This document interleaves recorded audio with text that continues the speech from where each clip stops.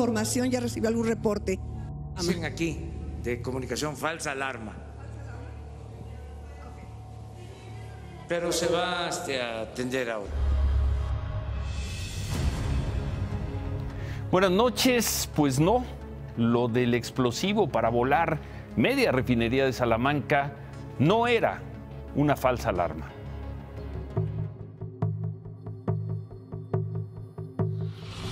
Antes del amanecer, desconocidos abandonaron esta camioneta frente a la puerta 4 de la refinería Ingeniero Antonio M. Amor en Salamanca, Guanajuato.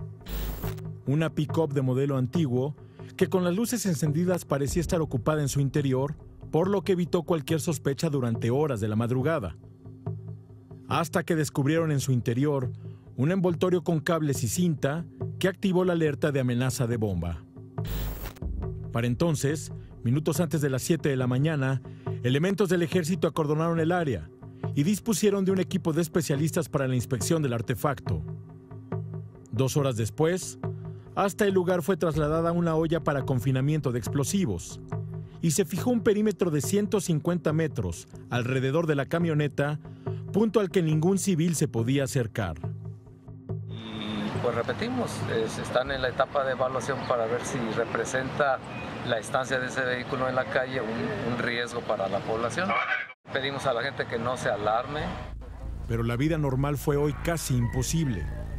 Debido a la amenaza de bomba, escuelas cercanas a la refinería de Salamanca cerraron sus puertas y personal de Pemex, principalmente del área de ventas y autotanques, fueron desalojados y no se les permitió el reingreso por el resto del día. La refinería de Salamanca lució prácticamente vacía luego de la amenaza de bomba.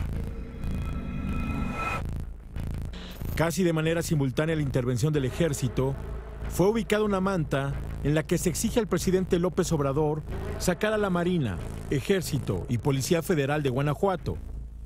El mensaje lo firma el cártel de Santa Rosa de Lima, grupo criminal que domina el robo de combustible en la región. Pero horas después, otro mensaje atribuido al mismo grupo se deslindó y culpó al cártel Jalisco Nueva Generación de colocar la manta con la amenaza al presidente. Pasadas las 12.30 horas, el aparato localizado en la camioneta abandonada fue transportado fuera del lugar, bajo vigilancia, en un vehículo blindado de la Policía Federal.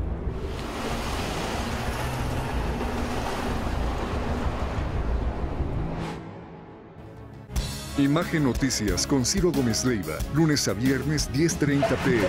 Participa en Imagen Televisión.